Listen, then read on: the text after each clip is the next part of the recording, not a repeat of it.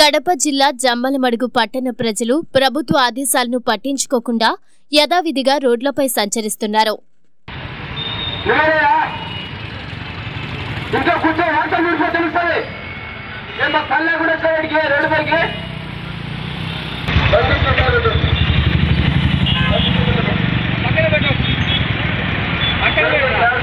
అన్నమే కదా తినేది.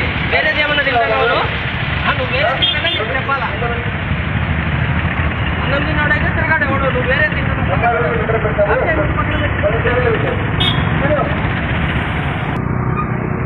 ಎದುರಿಗೆ